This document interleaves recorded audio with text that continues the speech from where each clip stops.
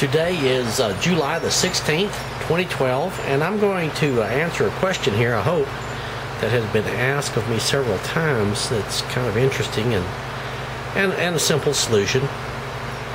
And maybe it's so simple that it, it that it escapes us.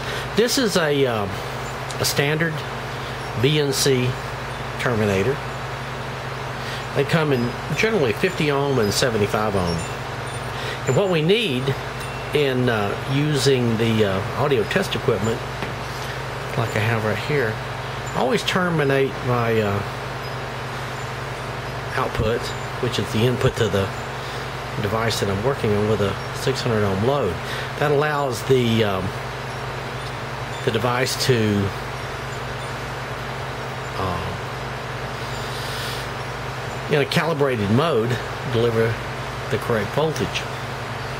So anyway, to make a, a 600 ohm terminator, use a standard BNC connector terminator. And this one right here, you can see, uh, hopefully it'll focus, you can see by even by the colors that there's a 7 there. This is a 75 ohm terminator.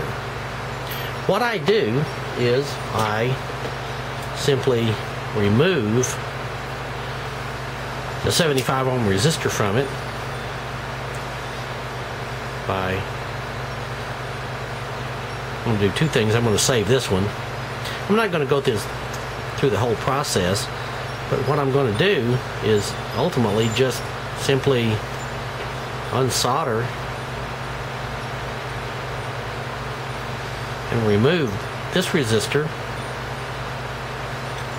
by taking the male connector off there, heating the the back side of it.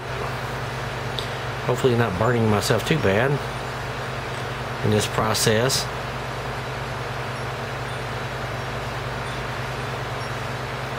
And after removing this resistor, well, I will remove the resistor. And then what I'm going to do is I have a pack of uh, 620 ohm resistors. I'm going to hand select the one I want and simply replace it. And I'll end up with, instead of this 75 ohm resistor in there and the, uh, the little tip, I'll end up with a 600 ohm. That's all it is. That's the only difference. It's so simple that uh, I think it escapes us sometimes. I'll, uh, I'll replace it and then we'll measure it. Yeah, I have removed this 75 ohm terminator. I have selected a, uh, a 600 ohm replacement for it, and I'm going to. Got to be kind of careful with with with mechanical differences here, and, and make sure that you know things work out similar, and then uh, we'll uh, reconstruct it by removing this one and putting this one in there. I've uh, added the uh, the tip here to the 620 ohm resistor. I'm going to touch this up right here so that it fits nicely, and then uh, we'll, we'll we'll complete the project. We complete the project here by touching up the the bits and pieces with a, a file inserting it back into the uh, so that yep there it is right there. I can feel it with my thumb. And screwing the back part on so that it uh, actually fits through this hole right here and I can feel it right there. And I'm going to solder that and we have a complete a 600 ohm terminator. Okay we've completed our project here. We have our 600 ohm resistor in there and we snap it onto our fancy dandy meter and we have 612 ohms. 612 ohms? Okay let's do the math. 612 ohms. 6 12 enter 600 divide.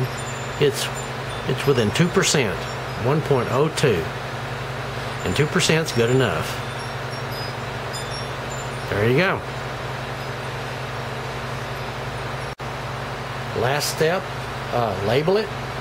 so so that you know it's not a 50 or 75 ohm resistor terminator, and you don't have to go into eBay and pay anybody any kind of strange and extravagant money for a 600 ohm terminator because you got one right there that you made from a uh, 25 cent 50 or 75 ohm BNC terminator.